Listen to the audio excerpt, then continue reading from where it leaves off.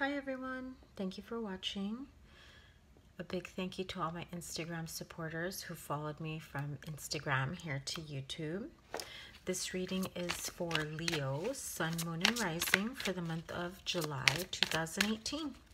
Always remember, general readings may or may not resonate with everyone. Take what resonates and leave what doesn't. Never force a message to apply to you.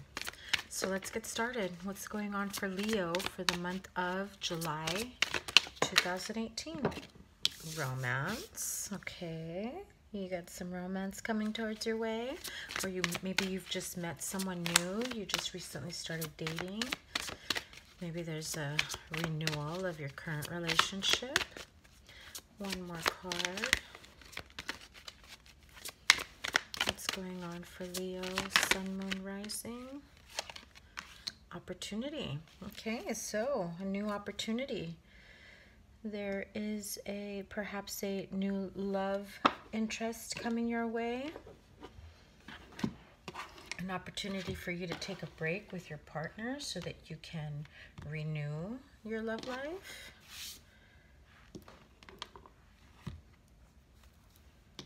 You meet someone new in the most unexpected ways.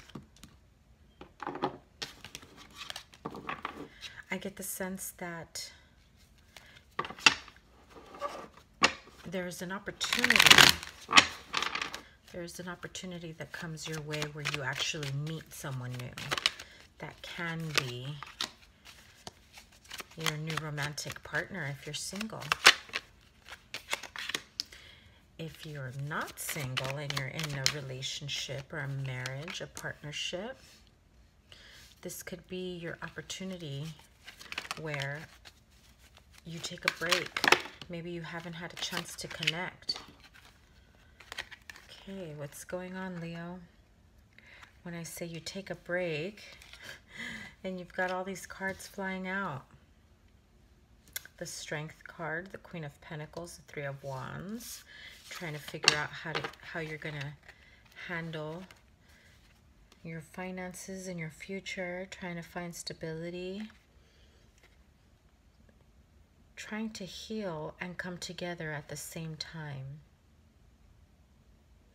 If you were in a sex only relationship that really hurt you, you've decided that it's time to heal and move on to something that's more fulfilling in the emotional sense, more rewarding emotionally, where you actually come together with someone in love. Perhaps you get a water sign that comes in with a financial opportunity that has you wondering which path do you take. For some of you, okay, this is interesting. For some of you, the romance and the opportunity are two separate things, so we'll clarify them separately. But right now, how I see it is you do have an opportunity for romance, whether in your current relationship, your current partnership, or there is an opportunity of meeting someone new. If you are in a current relationship, a current marriage, where maybe you've been at odds, there's been a sense of being defensive with each other, you know, um, you haven't been getting along all that well lately is what I'm sensing. Your arguments were starting to get really bad. Where you've started thinking about any other opportunities that you may have, or maybe you feel that maybe your partner has plenty of opportunities to choose from, and it causes all kinds of confusion because maybe if you are involved with this King of Cups, they're keeping their emotions to themselves and not really for being forthcoming with how they feel. And so you start to wonder what's really going on here. Maybe I should start thinking about my financial future. Maybe I should focus more on my career and less on my love life because it's causing me too much confusion. I get presented with so many different things, so many different options, and I'm not quite sure which path to take. I know what I want to manifest. I know what I want. I'm standing my ground with the realization that there are certain things that I want in my romantic relationship. but you're not currently feeling it at the moment. And so you end up being at odds. The Seven of Wands is being very defensive, needing to stand your ground because this is something that you really believe in. But the Five of Swords, you know, if you're being met with opposition where you're the one standing your ground and the other person is, you know, being more of an asshole than being romantic and you're wondering what is really going on? Why am I losing sleep over someone who treats me like shit? Here I thought they loved me, but they're being an asshole with me, or vice versa. Maybe you haven't been in, you know, the best of moods lately, and you've been the asshole. For some people with this opportunity card, I feel a sense of an opportunity to work with someone new. Perhaps this King of Cups becomes a new business partnership where there is a financial opportunity being offered. I mean, look, he, they're extending their pentacle out. This is a promise for an abundant future financially. It's like setting yourself free from what, whatever financial worries you had in the past and creating this big and brand new future for yourself and you're going to fight like hell to have this financial opportunity. You've seen what options you have. You know that you can manifest this financial opportunity. You know you can have this financial freedom. But it's time to dwindle down all these different options that you're being presented with because we all know with the Seven of Cups, not all of them are worthy. Not all options are worth the taking. Some of them are a bit tricky. And some of them can be fruitful and abundant. And so you stand your ground. You fight like hell to make sure that this financial opportunity does happen for you. And you keep moving forward. You start making plans for a new future for yourself. You manifest the hell out of you out of all these options that you want and then you figure out, you know, some things are not worth manifesting in because they're not worth my time. And that's if I take all these cards with only the opportunity card. If I take them with a romance card, well, for those that it may apply, Leo, you have been fighting with your partner. You have been a bit defensive, and that defensiveness ends up getting your partner feeling like, well, she's going to be defensive, he's going to be defensive, then I'm just going to be an asshole because I don't feel like dealing with it.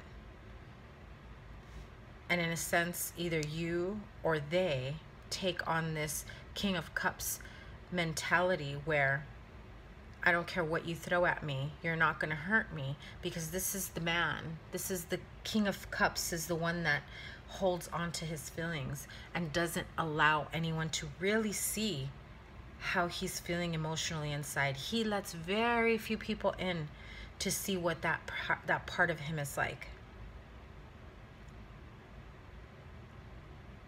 And maybe they're putting in more time and energy into their financial future, their financial future, not yours, not yours together. Perhaps you had this idea that it was your financial future together. But that's what you guys are fighting about. Like in most relationships, one of the biggest things that you fight about is money and the plans for the future. But there's too many things going you know, being too many options being thrown in your face where it's like, well, what about this? And we've talked about that. But you know what? It's time to get rid of all these options that aren't worth your time in manifesting. Once again, find out what really is truly worth manifesting for this relationship to be exactly what you want it to be because you have an idea of what you want it to be. You know you do. And there, be, there may be a few of you that are not just romantic partners, but also business partners. If you have a family business, it can be hard sometimes to keep a family business going and a marriage going when perhaps sometimes you don't sometimes you might not be feeling agreeable to what your partner what decisions your partner is making when it comes to the business.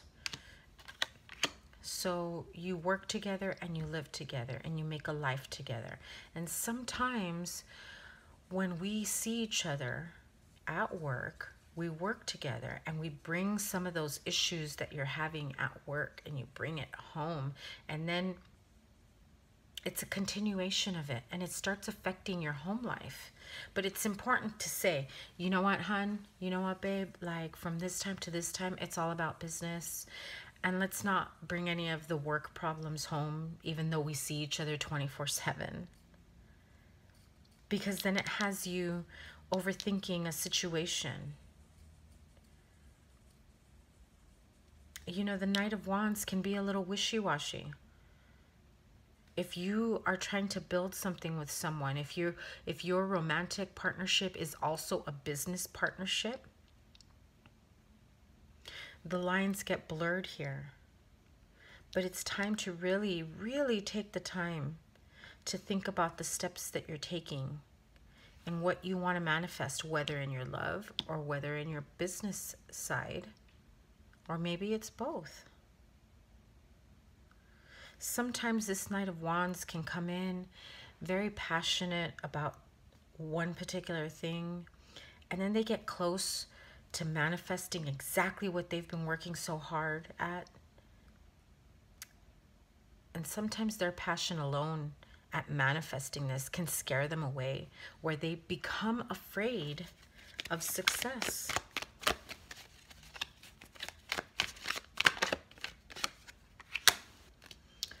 So,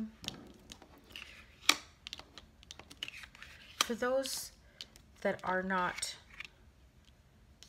having this romantic and business partnership in the same the same relationship and it's two different relationships.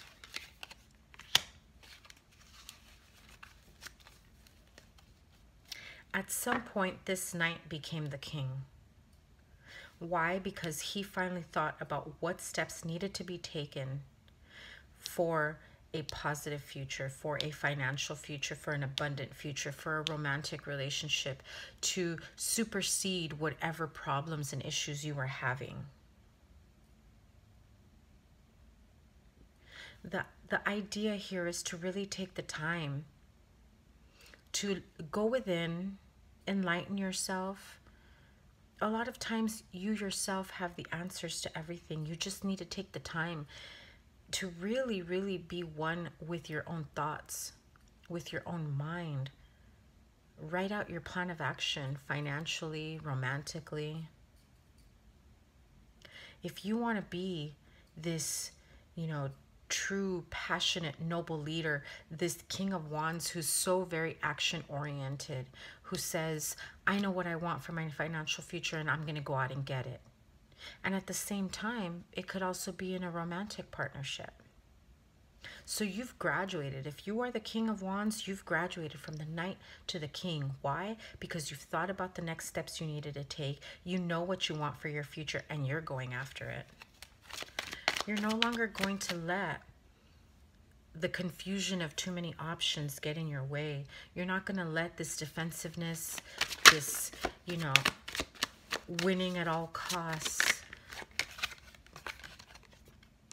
fighting over stupid fights that just, rather than encourage, you know, oneness and unity, you're discouraging people from wanting to come together with you.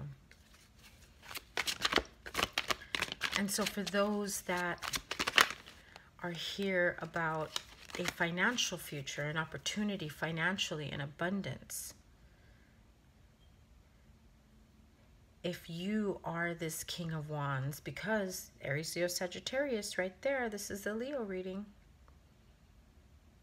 You need to take, if you have earth placements as well, but you need to take this earth king of pentacles who is this financially business savvy King of Pentacles is like the king of his castle, has the Midas touch. He can create anything he wants for himself. And the King of Wands is so full of action. He won't hesitate to make the next steps he needs to take to become this King of Pentacles who has everything he could possibly think of for his throne, for his castle.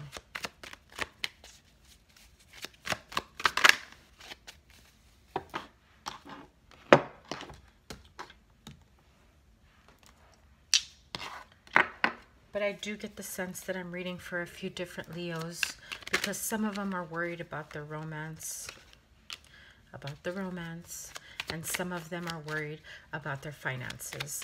I feel as though only a small few of you have these two together. I feel like they're more for a few different Leos. Some of you are in this romantic partnership, romantic relationship where you have been fighting your fights have gotten pretty badly. And you're very defensive because you're standing your ground on exactly what your expectations are. And that's fine to, to say, I know what I want and this is how I want things. But there is a fine line between standing your ground and defending what you truly believe in. And also saying, no, this is how I want this because it's a control issue. And when you have this mentality of wanting to be in control of every aspect of your romantic relationship or your financial opportunities, career and job and business, sometimes having too much control over these things are what causes such great disappointment and heartache because that defensiveness, that standing your ground, that need for control, that need for control causes unexpected disappointments because of certain expectations that you end up having or that you end up making for people. So a few cards that you have here that are duplicates, the Knight of Wands and the Magician. Leo, you can manifest whatever relationship, whatever financial opportunity you want. You have the passion and the drive and the ambition to take the right steps to move forward in a positive way. Know the difference between standing for what you believe in and being a control freak. Know that you can move forward in a much calmer way without this heartache and disappointment. There are new financial opportunities coming your way. There are new offers coming your way. With the Three of Pentacles, under this opportunity, unable to collaborate with the right business people. You know what you want, but you're not working together with your team, with new people that come in. You're having a really hard time working together with people. Here's another duplicate, Two of Wands. We also have the Sun card. So it's a very, very positive outcome once you realize, you know what, I've taken the time, I've got the action, the drive, the ambition, the energy, the positive outlook to manifest exactly what it is I want in love, in finances, or both. Yes, I'm going to be defensive because I know what I want. It's not about control. That's how you need to be. Don't be about control. Being about controlling every single step of your life is allowing disappointment to set in because you have unrealistic expectations for every aspect of your life. Perhaps some things, yes, they do pan out, they do work out the way you expect them to. But be careful because you may hurt other people in the process, making them feel as though they can't live up to your expectations. It damages a person's self esteem. It damages a person's confidence in themselves, in the relationship, in the partnership. It's better to really, really come to mind in terms of what you truly want and how you're going to manifest it moving forward. Bringing this Three of Pentacles right side up by getting rid of this asshole mentality. This guy that just loves to argue that no matter what, I'm right. It's okay to be wrong sometimes as long as you can come together with the right people. You know what you want. You know what kind of life you want for yourself. It's time to manifest it. It's time to look towards the future.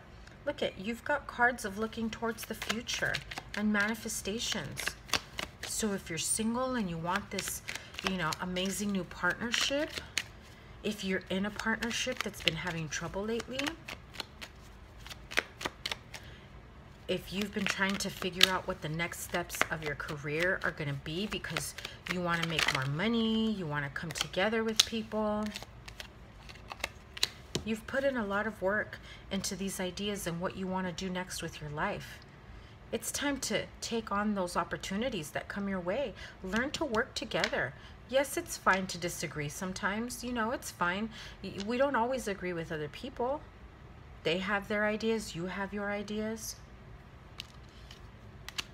Focus on the possibilities of having this bright future when you work together with the right people, when you communicate clearly about what you want when you come together. Two, three, four. Two of Wands, knowing what you want, knowing which path you're going to go, which path to take, going on to the three and realizing I've made the decision.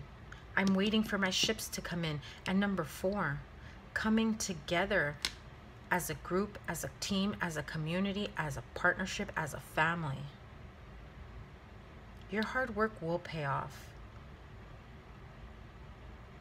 We just need to surrender a bit to the defensiveness, to this fighting mentality.